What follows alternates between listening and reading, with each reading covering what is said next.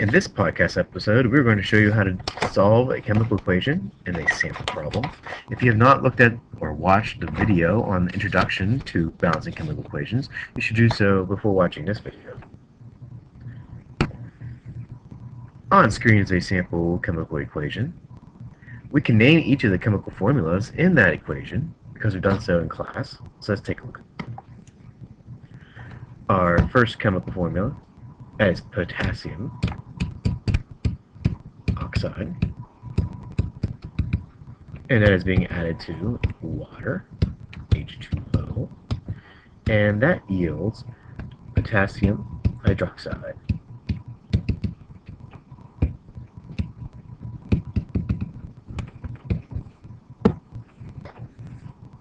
Now, as we did in class, it's very important to set up your problem by creating T, where we can divide our problem into reactants and products.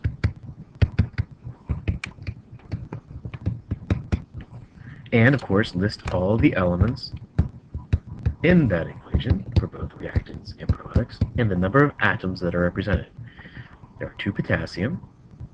We know that by the subscript. There are two oxygens, one in potassium oxide and one in water. And there are two hydrogens, both found in water. Now, on the product side, we have one potassium, one oxygen, and one hydrogen, all in potassium hydroxide. The next step in so solving this equation is to make sure that we are following the law of conservation of mass. The mass of the reactants must equal the mass of the products. Right now, there's double the amount of all the atoms on the reactant side. To solve this equation, all I need to do is write in the coefficient of 2 for potassium hydroxide. That makes us have 2 potassium, 2 times 1 for oxygen, and 2 hydrogen. And that is now a balanced equation.